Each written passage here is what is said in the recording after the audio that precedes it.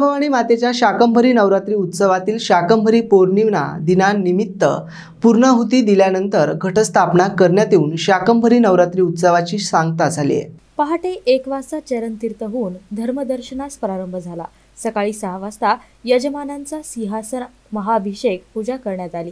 नंतर देवीजीस वस्त्रो अलंकार घालण्यात आल्यानंतर दुपारी धूप आरती करण्यात आली. नंतर श्री गणेश ओवरीत शाकंभरी देवी मूर्तीसमोर होमात यजमान प्रवीण आणि त्यांची पत्नी मंजुषा कदम यांच्या हस्ते महंत वाकोजी बुवा महंत हमरोजी बुवा पोळीचे भोपे पुजारी विवेक दिनकर ज्ञानोबा प्रशासकीय अधिकारी तथा तहसीलदार योगिता कोल्हे धार्मिक सहाय्यक व्यवस्थापक नागेश शितोळे पुजारी मंडळ अध्यक्ष सज्जन साळुंके प्राध्यापक धनंजय लोंढे उपाध्य मंडळ अनंत कोंडभोपे मंडळाचे अतुल मलबा विशाल रोजकरी किशोर गंगणे दुर्गादास अमृतराव शिवाजी बोदले यांच्या उपस्थितीत मंत्रोपचार गजरात पूर्णाहुती देण्यात आली. नंतर कोहळ्याची बळी देण्यात आला. नंतर घटोस्थापना केली. यावेळी महंत तुकडोजी बुवा यजमान प्रवीण कदम पोळीचे भोपे पुजारी धार्मिक सहाय्यक व्यवस्थापक नागेश शितोळेसह सेवेदार पुजारी मानकरी मंदिर कर्मचारी वर्ग उपस्थित होता. सायंकाळी पुनश्च